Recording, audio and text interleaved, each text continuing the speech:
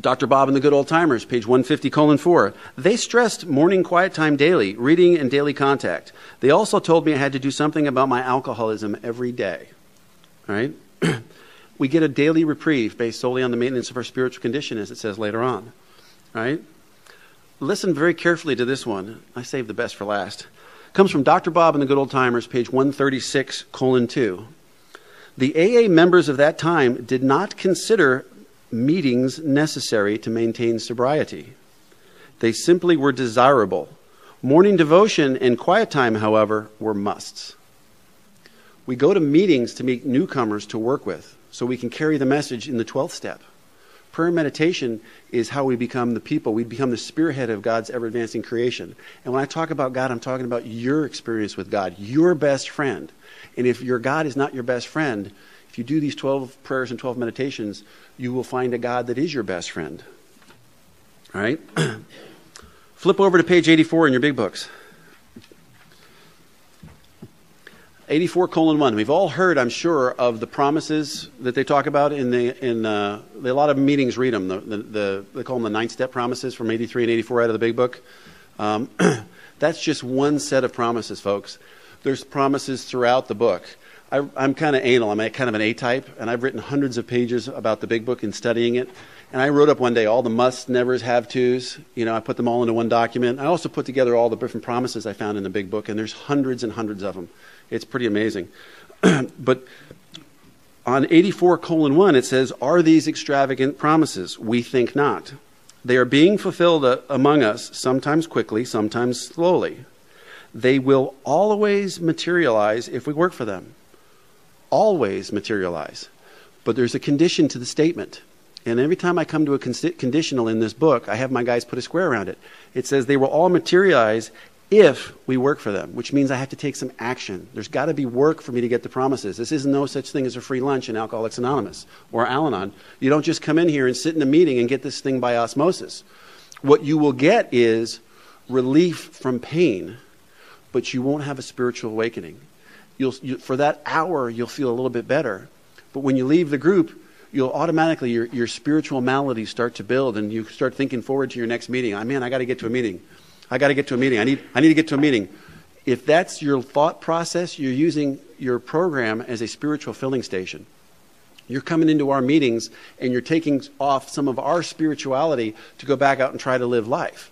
And very quickly, that tank will run dry you have your own relationship with a God of your own understanding, you can plug into that source of power anytime, anywhere. You can do it in the shower, you can do it in the car, you can do it in your cubicle at work. You know, you can do it in the doctor's office. I had an amazing experience not too long ago. I had slipped and, and hurt my back. All right, I, I was over in London and stepped on some ice and, and uh, fell and, and I hurt my spine and I didn't realize it. And we did some X-rays and MRIs and I'm in the in the orthopedic surgeon's office a couple months back and the doctor's telling me, he goes, oh, geez, look at this. You know, your spine shifted over 50% out of alignment with the rest of it. And that's where my brain shut off. I couldn't hear the doctor. And so I did something very uncharacteristic as I put my hand up. And the doctor says, what? I said, hang on a second, doc. I can't hear a word you're saying. And I prayed out loud. I said, God, I need you here. I need you in this room with me. So I can face this. Because the first thing that I heard in my head was, Your career is gone you know, and this pain's going to be with you forever that's in your hip. You've got problems, you know. But as soon as I plugged into God, what I heard very clearly was the voice I had heard two hours earlier when I said my prayer and meditation. And I, he said, I got you. Don't worry. I didn't bring you this far. You're okay. I was able then to look at the doctor and said, I said the prayer out loud. And the doctor looked at me and he goes, his jaw was hanging open. He was literally slack jawed. He says, I've never seen anybody do that before. I said, Welcome to my world, Doc. you know? And it turns out the doctor was a believer, you know, which was kind of neat because it, it opened up a, a whole neat series of events happened because that doctor and I shared a spiritual experience together in a doctor's office. How cool is that? Only because I bring God with me wherever I go, you know, because it says on page 55, the God of your understanding is deep down within you. He's in every man, woman, and child which means me and you, by the way.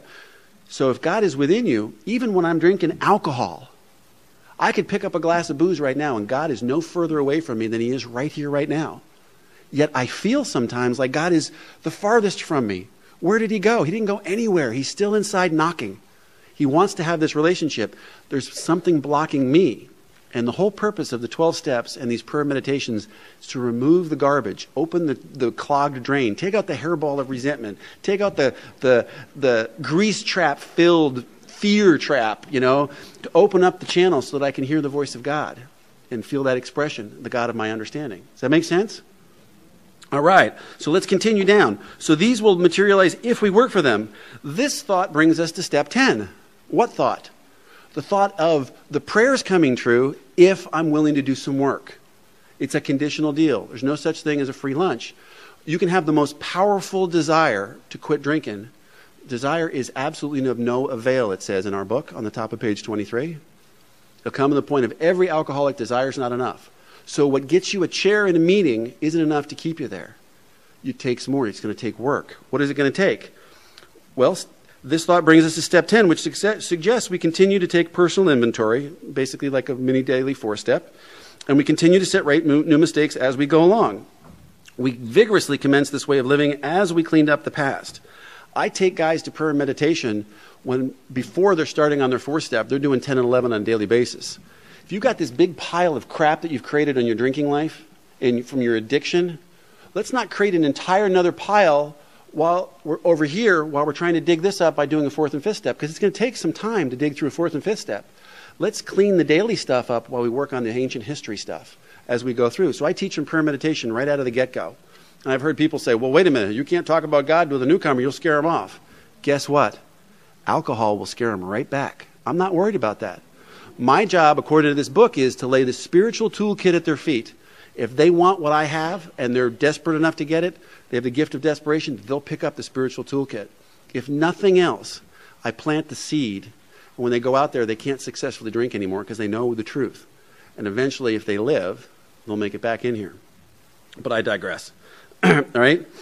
This is not an overnight matter. It should continue for a lifetime. And here comes the next thing it says, continue to watch for selfishness, dishonesty, resentment, and fear. I've worked with one word in Alcoholics Anonymous for over 20 years, folks. Watch. What does it look like to watch? I'm watching for selfishness, dishonesty, resentment, and fear. It says, when these crop up. It doesn't say if these crop up. They're going to crop up. And if you haven't had a resentment in a week, guess what? You're going through life asleep thinking you're awake. They're there but we're tremendous at, at pushing those things down into Pandora's box.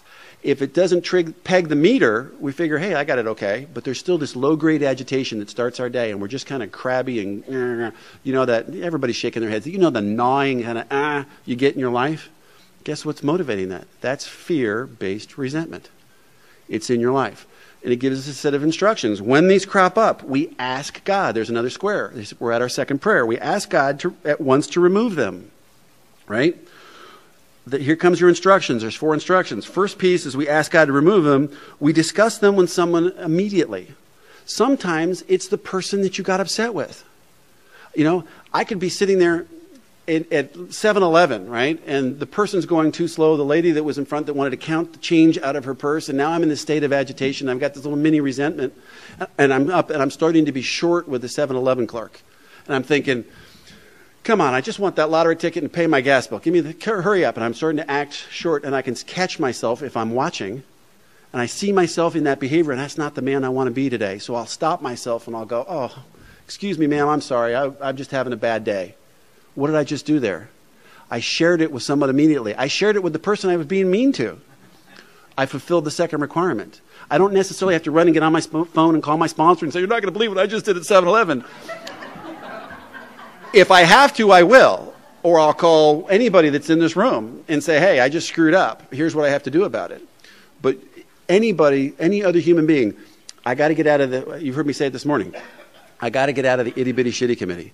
The, the voices that are in my head, that's, if I'm thinking about it, I'm behind enemy lines. Because on the top of page 23, it says the problem centers in our mind. So guess what, folks? You have to be out of your mind to find God. You cannot think your way through, through Alcoholics Anonymous or Al Anon you have to experience it and you go through these prayers and meditations to seek power outside of yourself and the reality is the power is inside of yourself it's deep down within and you're just blocked off from it you got to remove the block all right So we ask God at once to remove it, we, that which means a prayer. We discuss it with someone else immediately. We make amends quickly if we've harmed anyone. So I apologize to the 7 Eleven clerk. And then we resolutely turn our thoughts to someone we can help. That's the hard piece. Who can I help?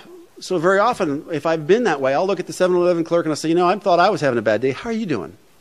Are you okay? I had that experience with the coffee lady over there. She provided me great service and she gave me a cup of coffee and she made the correct change and I gave her a tip in the, in the cup and I'm filling up my coffee cup and I looked at her and she had this weird look in her face and I listened to the still small voice and I said, how are you doing today?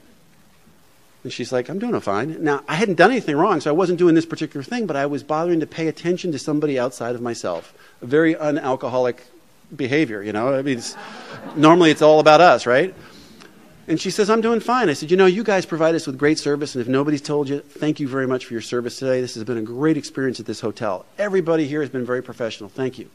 And you could just see her. She kind of puffed right up and she says, Well, thank you for saying that. I made the world a little better place because I was in it and I was sober today. Right? So it's easy to do once you learn how to do this. I just have a lot of experience with this because I screw up a lot. Uh, maybe you guys don't. All right? Then we resolutely turn our thoughts to someone we can help. Love and tolerance of others is our code. That's a very powerful statement. Love and tolerance of others is our code. Huge, right? There's a whole bunch more of, of these prayers and meditations, we don't have time to cover them all, but I do want to cover one on page 85. Let's look at the next piece 85 colon 1. It is easy to let up on the spiritual program of action and rest on our, uh, and rest on our laurels. We are headed for trouble if we do, for alcohol is a subtle foe. We are not cured of alcoholism. What we really have is a daily reprieve contingent on the maintenance of our meetings? No. Maintenance of our talking to our sponsor? No. Maintenance of our spiritual condition. Every day, wait a minute, did they just say every day? Every day is a day when we must, wait a minute, I thought there were no musts in, in recovery. There's a lot of musts. Every day is a day when we must carry the vision of God's will into all of our activities. Do you think they really meant all of our activities? Yeah, they meant all of our activities. That's the deal. There's the vision prayer, meditation, and vision. It's right out of the book. All right? Let's go to the top of page 86. Right? We know the book in our recovery program gives us a whole bunch of inventories to do, right?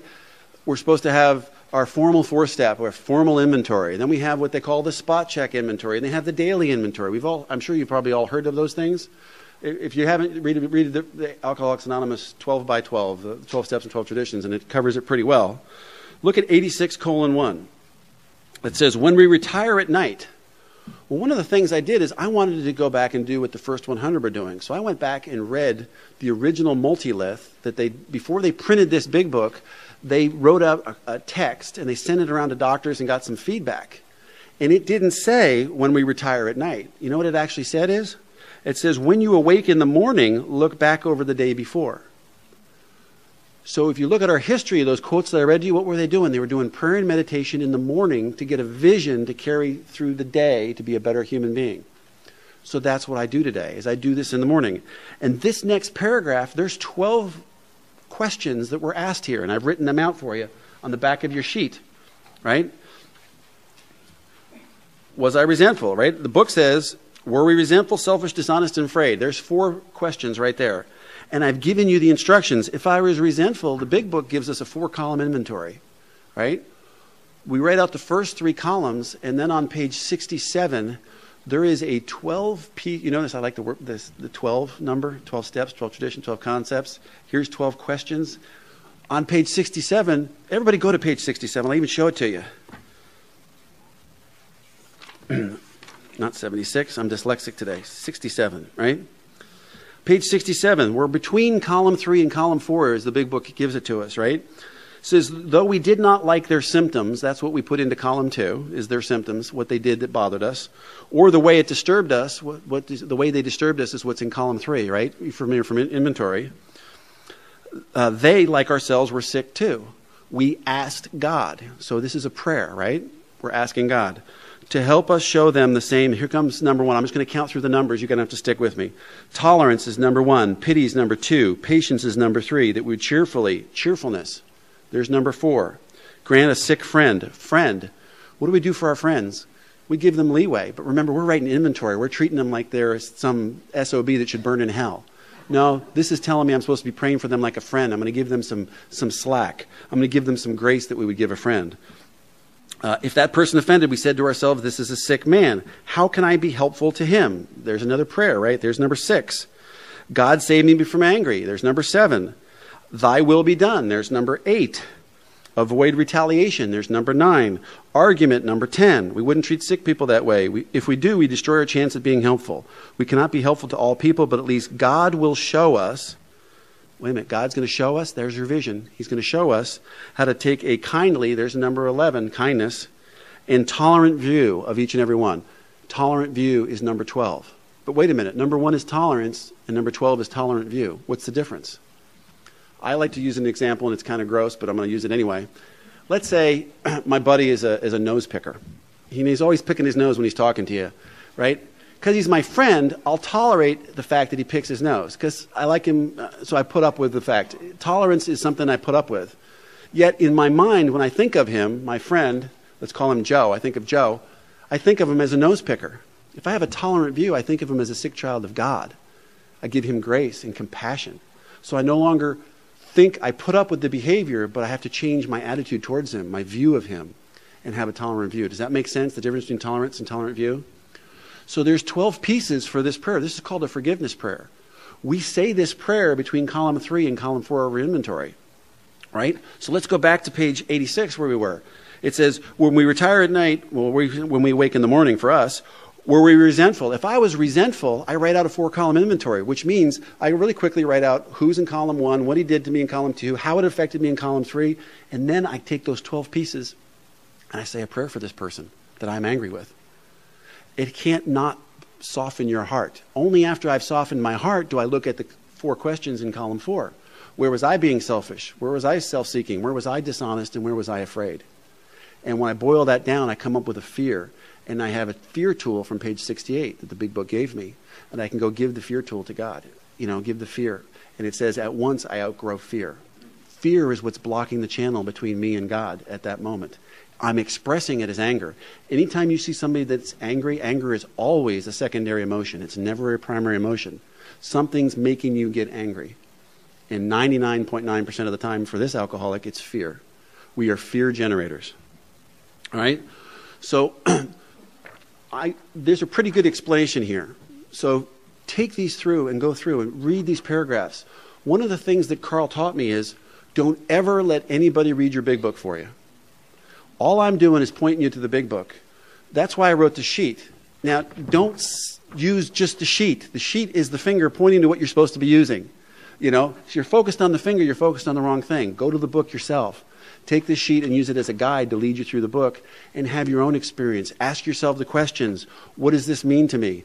If you see a conditional, if you see the word if, it means there's a condition for, for that to happen. Sometimes it's double conditionals. Sometimes it says if this and that. I put a square around the word and because if I want this, I have to do this, but I also have to do that. If I just do this, I don't get what I want because half measures avail me nothing. And I think that's actually, I'll digress for just a second. It's one of the expressions in the big book. If Bill Wilson were alive, I'd ask him, I'd talk to him about it. Because it's very, in chapter 5, in how it works, it talks about half measures avail us nothing. I don't believe that. Half measures don't get you half. You know what half measures get you? Sicker. You do this program halfway and watch what happens because you don't have alcohol to depend upon. All you've got is the resentment and all the nasty emotions, and you don't have any way to put the flames out. And you become a royal pain in the backside. Try to watch my words today, you know. So I don't think Bill Wilson was. I think he was meaning something different. But half measures don't avail us half. They get you sicker. You don't get nixnay bunk, uh, a bubkiss squat. You don't get diddly. You get sicker. All right. So I digress. So give this a shot that's the, the, the 12 prayers and 12 meditations that I wanted to talk about. Some people have never meditated before. All right, so I wanted to talk about meditation for a second. And meditations, there's nothing fancy about meditation. Uh, it's pretty straightforward. Um, all meditation means is to get into the present moment. Because in the Far East tradition, they talk about the chatter of a thousand monkeys gets in your head. And that's the what I describe as the itty bitty shitty committee, you know. And you get all these little voices. And I've actually named my voices. You know, uh, I've got the judge. You know, the judge is always there. The judge, the jury, and the executioner. The judge is the one that judges it. He hands it off to the jury. The jury co-signs the behavior, and then the executioner tries to figure out how I'm going to get even with you. Right? If I can't get even with you right then, then all of a sudden I bring in a fourth character called the hitman, and the hitman will wait. He'll lie in wait for years until I can give payback. You know, if I'm in my sixth state. You know, there's a banker up there. There's, there's Romeo up there. Romeo thinks that he's God's gift to women, you know. He was the 13th stepper when I first got sober. You know, there's the spiritual man. There's the sober member of Alcoholics Anonymous who wants to be the sage in the group, who doesn't want to be the bleeding deacon. But if he doesn't get his way in, in his group, watch him throw a little temper tantrum in my mind. Right? And by the way, if you go to a group and there's people that know that group because of it's, oh, that's Joe Blow's group, get away from it Anytime you have a group around one person, there's something wrong with that group. We let God speak through the group conscience. No group should be anybody's group, it should be our group. But that's my own little sidetrack. So, how do you get into the present moment? You know, most of us know when we're out of the present moment because the hamster's on the wheel, the chatter of a thousand monkeys going off, and all of a sudden your mind goes and says, "Oh, I got to get this done. I got to get the taxes done. I got to. Oh, I got to go pick up groceries. Oh, I forgot my dry cleaning. Whatever it happens to be, it's in there. And if you've never had that, you're in the wrong room, first of all. Second of all, the way you test yourself is not in the morning, it's at night. When you lay your head on the pillow, if you can't immediately fall asleep, you get the chatter of a thousand monkeys, something's wrong with your spiritual condition. My wife will tell you, she's sitting right over there, you can ask her, when I hit the, hit the pillow, sometimes she'll be in mid sentence and I'm already asleep. I don't stay awake at night with the chatter of a thousand monkeys because I do this work. All right? Well, what's the, one of the quickest ways to get into the present moment is to do something that we all do something somewhere between 17,000 and 23,000 times a day. Breathe. Just breathe. Faith Hill is one of the greatest spiritual teachers I've had in a lot of years with that song of hers, Just Breathe. Sometimes that's what it comes down to. When I get all worked up and I call my spiritual guy and I say, hey, you're not going to believe what's going on, he'll go, Dave, take a breath. And then he'll remind me, what I want doesn't matter. If you're interested, I've got some stickers up here. After the meeting, you can come up. It says, What I want doesn't matter. Uh, it's, a, it's kind of a joke, but I put those. I needed that kind of visual reminder all throughout the day. What I want doesn't matter. I don't get a vote. Guys will call me and they'll tell me, Oh, Dave, I got this problem. And they'll tell me the problem. And I'll go, wait, wait, wait a minute, wait a minute. Did you find a vote around your house someplace? Because you don't get a vote. I'm sorry, something's wrong here. So, oh, you're right, you're right. You know, if nothing else, I always use the expression, be where your feet are if you have to, lean forward and look down at your feet. We're right here in this room right now. If the chatter is trying to take you to work or to lunch or to dinner tonight or to the meeting you're chairing in an hour, you're not in the present moment. You're missing God. The only place you can find God is right here, right now. God will be in the future, but you can't go into the future yet because it's not the present. So you can't connect with God in the future, and God is no longer in the past. And if your mind's in the past, you're not in the present moment. That's what our ego, you know, Harry Tebow, I talked about him earlier. That's the job of your ego, is to get you out of the present moment. And the way it does that, it goes into the past, it takes some bad experience, then it projects it in the future is watch out, this is going to happen. And guess what it just did very creatively? It hopscotched right over the present moment. And you're no longer the in the only place you can connect to your power greater than yourself, the present moment. So the goal is just to get back to the present moment. One of the easiest tools, like I said, is breathing. We do it thousand times a day, thousands and thousands of times a day. But how, how often do we actually think about our breath? We don't. So everybody sit up in your chairs, all right? Put your feet squarely on the floor and be comfortable, all right? And imagine a string coming out the top of your head. Somebody just pulls you up really quickly and then lets you down. And what I like to say is relax with dignity so that you're not hyperextending your spine. You just want to relax with dignity. And if you're like me and you've got a little roly poly around the front, Nobody, nobody will look, I promise. Just pick it up and get it up over the top of the belt because we're going to breathe. We don't want anything restricting our breath, all right? Hand position. You got two different, really, there's a whole bunch of different ways. You can have your palms up. From the Oriental traditions, if your palms up, you're open. You're allowing God to send stuff to you. You're, you're receiving, because that's the position we do when we reach our hands out. We're open. If you turn your hands over, then you're not asking for something. You're just kind of sitting there and you're, you're content. You're looking into yourself with your hands over. Some people will lay their hands open to each other and they'll touch their thumbs as if they're cupping like a little egg or something between their hands. Just so that they have something to do with their hands. All I care about is that you relax. I don't care whether up, down, left, right. Just relax. I don't want any stress or any tension in your hands. All right? And, and what I want you to do is to take two deep breaths into what's called the tantien in, Japanese, in the Japan tradition. It's two inches below your belly button and two inches deep. So you're not going to breathe up in your chest, which we all tend to do when we get stressed. Most people in addiction breathe from the top of their chest. I want you to breathe into your belly. All right. So when I do it, I'm going to say, take two deep breaths really quickly, you know, a normal pace, but I want them to be controlled. This is the first thing I want you to do is going to be controlled so you have some control to start with. And then after that, just let your breath go and just see if you can experience it. You'll notice that when we started this, we burned a little sage, and it, it irritated some people. Everybody said, What is that? You know what I did? I brought every one of you into this room with that sage because you smelt it and you went, Wow, you weren't in the hamster, you were here. You were right here, right now. Whether you liked the smell, whether you didn't like the smell, it brought you right here.